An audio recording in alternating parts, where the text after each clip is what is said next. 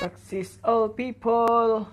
Pay in po tayo sa ating membership sa Worldwide Entrepreneur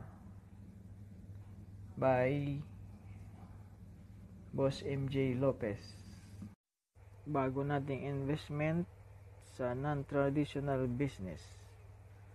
Nandito na tayo ngayon sa cashier at magbabayad tayo dalawang package po ang ating kinuha. Yung isa po ay personal natin gagamitin at yung isa po ay i-distribute natin sa ating mga kakilala. Ang turo po ni Boss MJ ay be the product of your own product.